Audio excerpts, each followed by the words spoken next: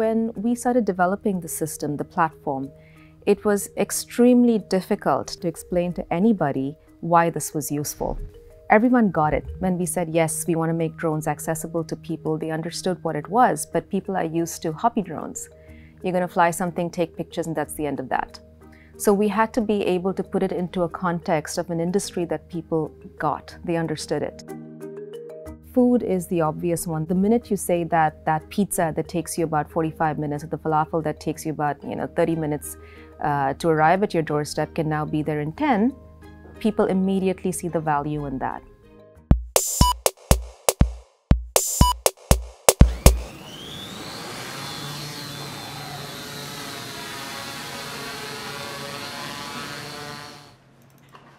So we're a startup of 16 people now, and uh, we're based in Helsinki in Finland.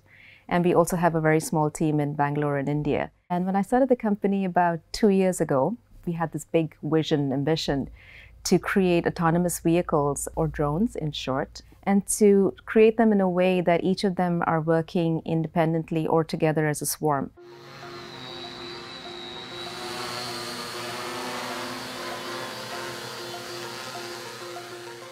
We're looking at how we could create a platform, a proprietary software platform, where the tech is um, developed by us, the algorithms are developed by us, or AI, or whatever you want to call it. And uh, this, this system on a, on a chip can be put into any drone, any hardware. And what we're developing is a brain. So it's the cortex, it's the brain of that drone that you put into it on a chipset, for example, and then suddenly it becomes autonomous. It knows how to fly by itself, it knows how to avoid obstacles, it understands where it's supposed to land, um, it understands how to, to uh, communicate with you because we want to democratize the usage of drones to anybody anywhere. People don't have to be trained pilots anymore. We're based at Aalto University in A Grid. Um, it's a startup space and uh, they want to be able to promote innovation in uh, technologies in multiple areas. So they have this um, shopping district called A Block and in the shopping district, you have a host of different restaurants and shops and gyms and so on and so forth. So we've created this A Block app basically in conjunction with them and all of our various partners that are featured on there.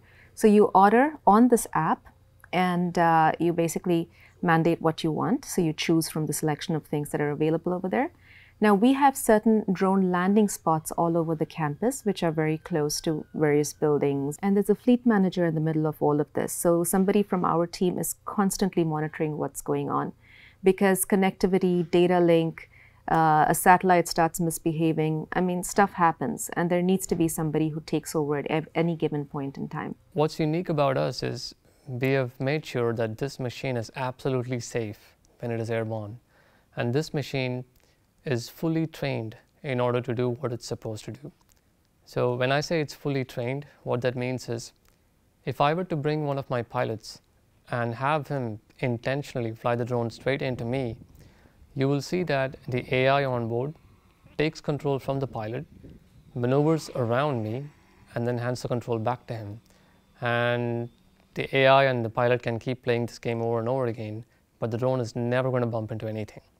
So this is collision avoidance 101 and we have that functional on our drone. So this is what we call uh, the Phoenix. That's what we named our delivery drone. Uh, underneath the drone is where uh, the payload goes and hooks up to the drone. On the on this side you can see uh, the ground control station. So this is basically where all the magic happens. We upload the missions uh, through the ground control station which is then transmitted onto the drone and then we execute the mission. So right now it's uh, it's in the process of being completely automated and hopefully uh, within a span of maybe a few weeks of time we have fully autonomous missions that are completely running. We've done 22 deliveries. It's been to Chinese delegations, to uh, European commissioners who've been on campus. And I'm either extremely stupid or very, very confident in my technology that we had a bunch of about 20 people from the commission over here and we did a delivery to them. Then we had a Chinese delegation in the middle of Helsinki. So this wasn't in Otaniemi, it was actually in the middle of Helsinki. And we did a, we did a delivery to them. Um, so we've done a couple of flights in Helsinki as, as well. Um, but otherwise, it's just mainly been up and down to people who've lived outside of the outside of the campus who wanted tomatoes delivered to them or eggs.